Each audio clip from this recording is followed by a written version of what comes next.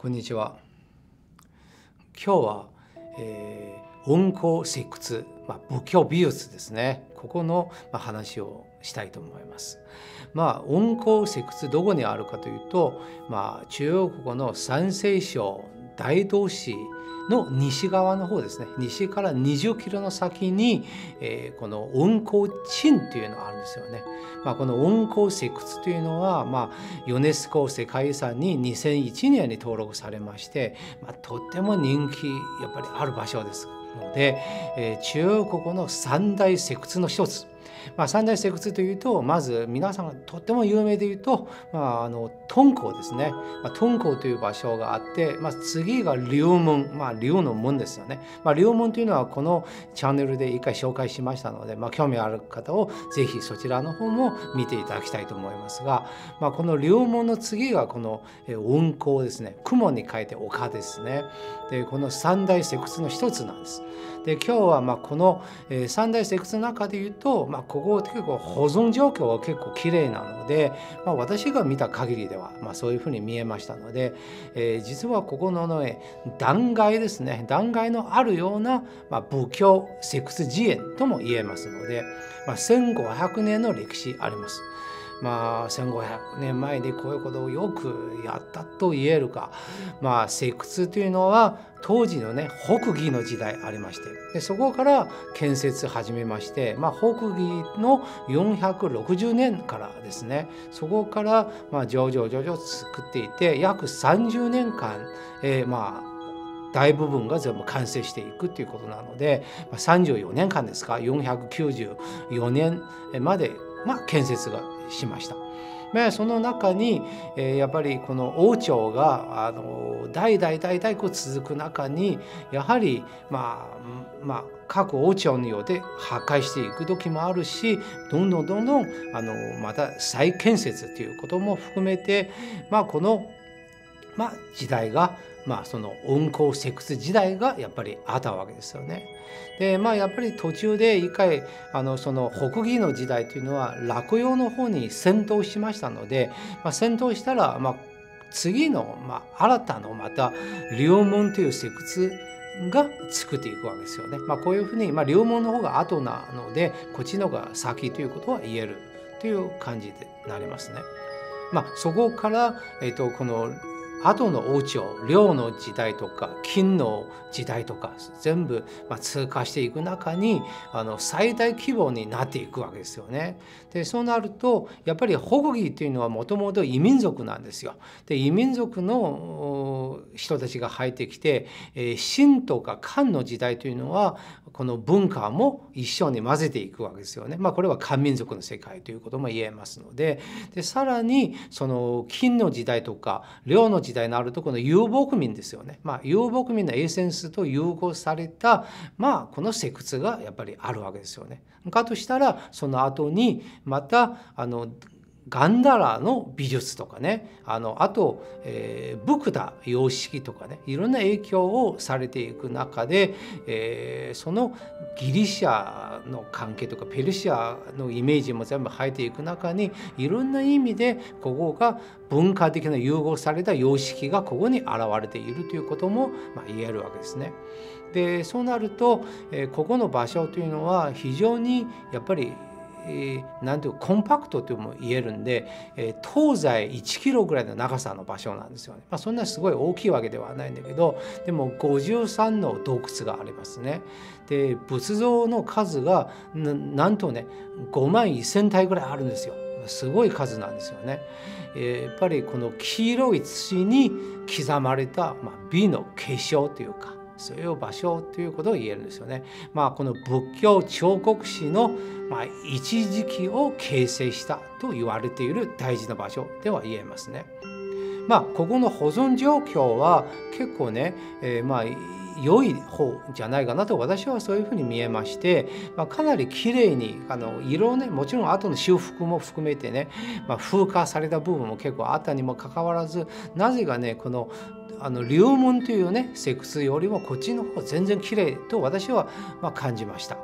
でやっぱり文化大革命という60年代にはやっぱりありまして当時は迷信とか宗教とか全部、まあ、いらないという考え方があってどんどん壊されていくわけですから、まあ、要するにこういう時期が得て、まあ、壊されたものをようやくある意味で保存されたものを、まあ、今度起こってきたとも言えるんですね。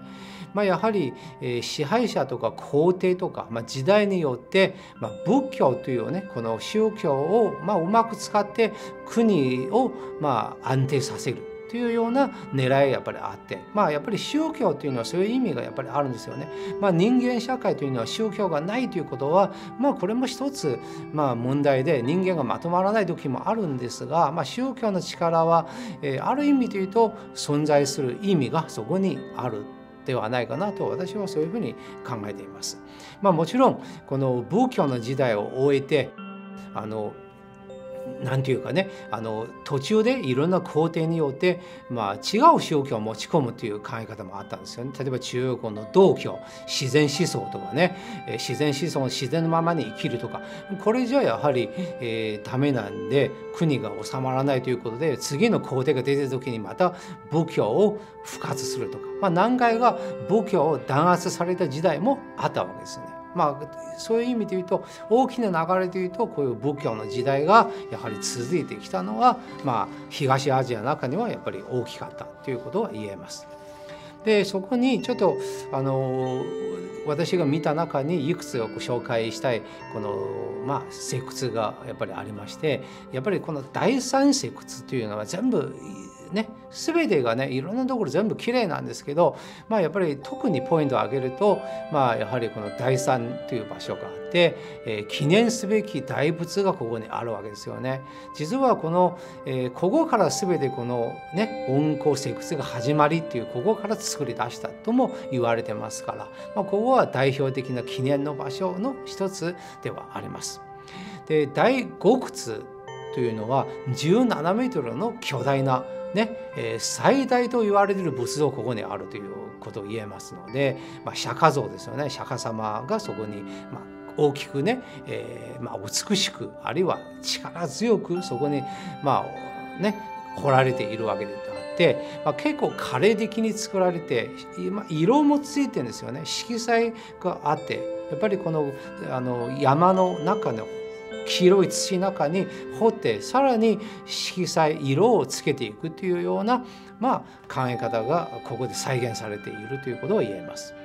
で第6窟というのはまあここもまたカラフルですね色彩もとても綺麗だしもう細かい細かいこの彫刻というか、まあ、人間でここまでよくできるなというふうにやっぱり驚きましたね。で釈迦様の一生を描かれているわけですよ。壁を全部この仏像がバーンと並んでいるわけですよ。で壁の中に、えー、仏様とかねまあもちろん釈迦様はそこに中心にあって、えー、あとは菩薩像とか羅漢像とか秘典ですね秘典であの、まあ、天女とかね仙人とかね、まあ、そういう天神で言われているような、まあ、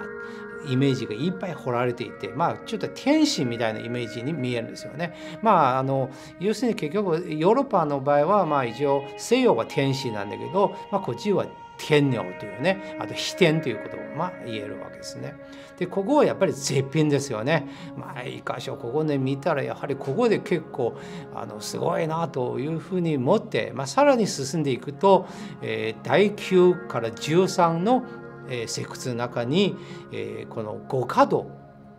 まあ、五華道という場所があって、まあ、5つのね、え、洞窟ですからでそこの中に、え、やはり私がとても、まあ、どれでも素晴らしいですよ。で私が、まあ、ここの中で一番、まあ、目に、まあ、見てやっぱり感動したのは、まあ、やっぱり第11番ですね。まあ色彩がとても綺麗で仏像と菩薩が完璧に残されてますよ。でここにね、えー、みんなそこでやっぱり立ってああここまで綺麗に残るもんだかなという感じで、まあ、見てい、えー、きました。でその次はね第12窟ですね。この12番の洞窟またすごいんですよね。さまざまな楽器を演奏する、えー、飛天たちですよね。まあ通常は、まあ、戯楽天ということを言いますけど、えー、この飛天たちというのはまあなんか天使のイメージなんですよね、まあ、要するに、えー、仏様と人間の間にいたり来たりような、まあ、イメージなんですから、まあ、天使のイメージとかなり近いであるということを言えます。まあ、ガンダラ美術の影響をされたこの場所ですので、まあ、ガンダラ美術というのはやはりギリシアとかペルシアとかその辺の影響はやっぱり大きいから東西のねこのつなぎような、まああのえー、接点がある場所ですのでそういうところはやっぱり東西の影響はやっぱりし合っている部分が、まあ、ここは本当になんか天使みたいな形しているようなあの仏像とか飛天とかそういうふうに全部こういうふうに並べていて、まあ、みんなが楽器器を演奏しているというか、まあ、アートの素晴らしさを高めていくような、まあ、そういったような、まあ、洞窟の中にはいっぱいありました。まあ、とてもとても私個人的にはこれはやはり、えー、とても感動しましたねここ。で第13窟というのはまたありましてここは保存状況はもうやはり良くて、えー、大仏窟で言うんですよね。でまあ弥勒菩薩です。まあこれは弥勒菩薩の綺麗な像がそこにあって、まあ、しかもこの高さが14メートルもありましてねやはりこの、えー、大きなねこの仏像の下にいるとわーってやっぱり人間がやはりこのね、まあ、圧倒されていくわけですね。でここもう一つ、えー、第 15, 15番ですよね。15番これもすごいですねやはり巨大な千仏道って言われた場所ですね千仏道というのはあの千人の仏像がまああの仏像がそこにあるわけですよね。えーと、千仏壁っていうのがありましてこの一面の巨大な壁があってそこに一応、まあ1,000個ぐらいの仏像があるんですよ。全部すごい数なんですよね。まあ小さいですよね。そこには何何センチとかねそのぐらいの小さいのこういうふうにこう並べていくこれは本当にこの履いた時にこの1,000以上あるんじゃないかなと私はそういうふうにまあ見えましたね。まあ、お釈迦様の周りに集まっていくこの、えー、1,000以上の仏像は本当にこれはやっぱり誰見てもやっぱりびっくりしちゃうわけですよね。私も初めて見てえー、こういうふうな表現し方やっぱりあるわけですよね。まあ、独特なあのここの場所の、えー、ような、ねえー、景観とも言えると考えられますね。まあ、次16から20ね、えー、洞窟がありましてここは鈍陽五窟ね5つのまあ、やっぱり、えー、石窟がありまして、まあ、ここは世界的にもともと有名なんですよここは、えー、やっぱりここ北魏の時代の5人の皇帝の姿が仏像としてこういうふうになんか表現されていくというかそういうふうにまあ暗示されていくという意味も含まれていると考えられます。まあ、世界的に有名でここの代表的な大仏のまあでもありまして、えー、やっぱりここのシンボルですよね。えー、まあ、このシンボルはというのはやっぱりこの20番の洞窟の中に露天大仏になりますのでここは高さが14メートルぐらいありますから、まあ、これは釈迦無二像というのはあって、えー、ここはその優しいような顔とされていてまあやっぱり目の強いですよね、まあ、優しいよりもやっぱり目の鋭さというか人間の社会を見つめているという、まあ、厳しいという意味も優しいと厳しいと鋭い全部込めたような、ま、表情で、ま、ここで彫られているように感じます。まあ、仏教の文明もさまざまな文化の要素がやっぱり入ってきますので、えー、まああのそういった意味で言うとやっぱり融合された文化の統合体ということも、まあ、言えざるを得ない。まあ、やっぱり仏像の曼荼羅のね作っていくような世界、まあ、ここに、えー、しっかり現れているように、まあ、考えられます。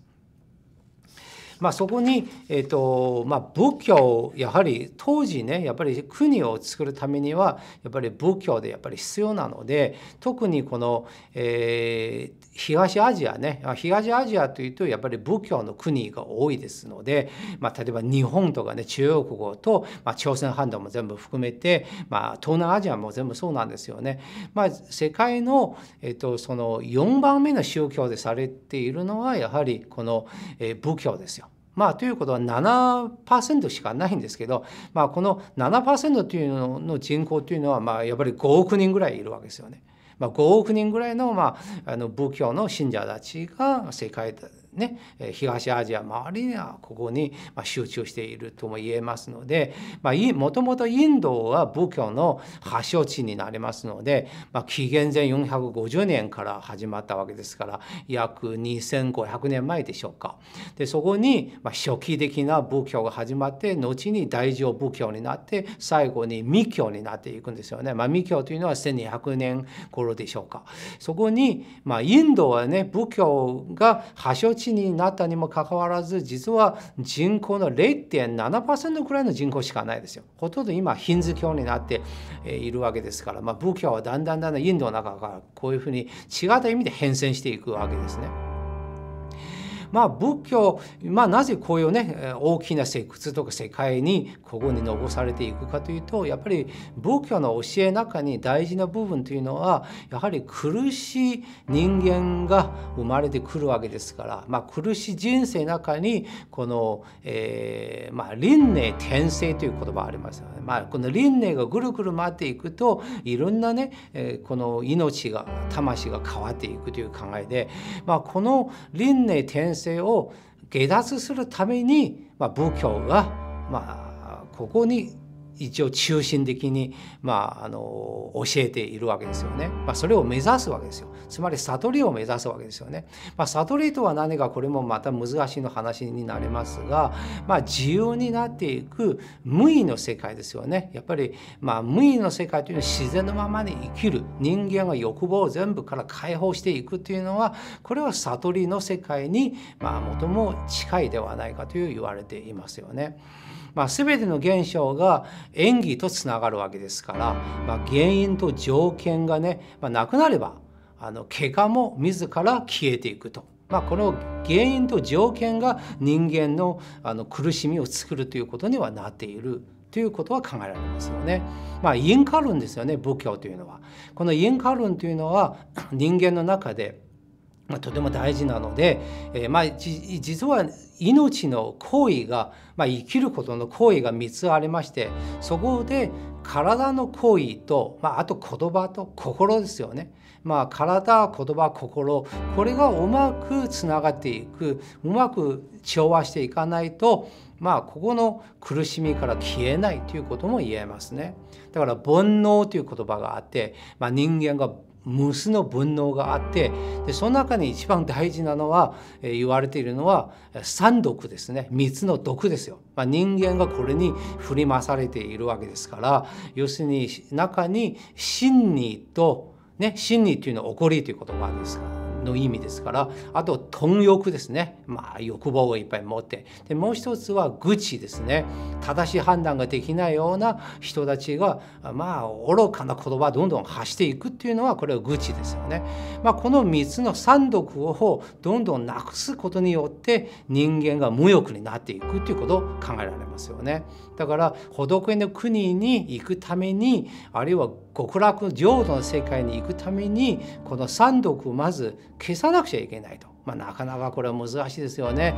心を浄化することによって、まあ、克服していくというような